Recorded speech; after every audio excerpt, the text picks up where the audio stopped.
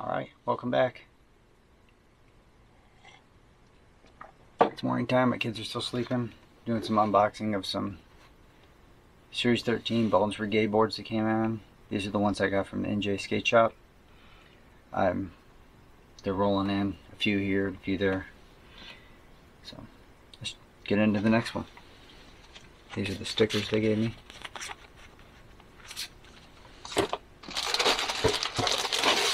We have the Lance Mountain. It's a really cool deck.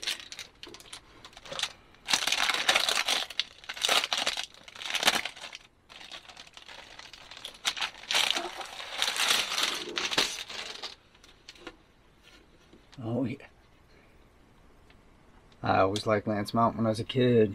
I thought I could skate like him someday. 44 and I cannot skate like him. But he was always the most entertaining one. I grew up watching those guys. Bones Brigade, the MASH series, as people are calling it. You know, people are giving this a lot of hate. When you see it up close in person, it's the green actually works pretty good. Now on this side, it's a little much, but I mean, you should have grip tape over that.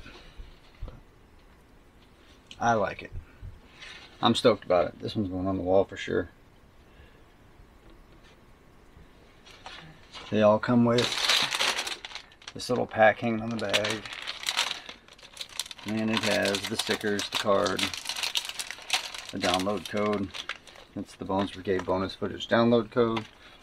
Just a little something about Lance. And then they all come with these rad stickers, which I'm excited about.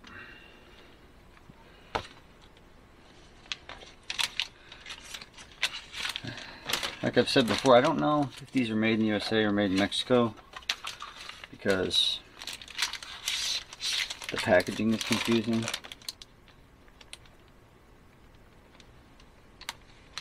I think it's just, unfortunately, I think they went with making these in Mexico, you know, which is a shame. People buy these decks as a collector's item. That's my only gripe with them is, you know, the, the price they're charging and you know how much people want to collect these you can't make them in Santa Barbara. So that's a that's a shame that they decided to do that. If the next series is made in Mexico I won't be buying it. If I had known this one was I may not have bought this one. Just putting that out there. They really should go back to making these in the United States. If the next series is made in Mexico I'm probably going to be out. This will probably be my last series to buy. Alright, that's my Lance Mountain deck. Other than the fact that these boards are all made in Mexico, I'm really excited about them. The green, I think, is pretty cool. As long as you don't look at this top section, it's real heavy. But uh, other than that, I'm stoked on these boards. Thanks for watching.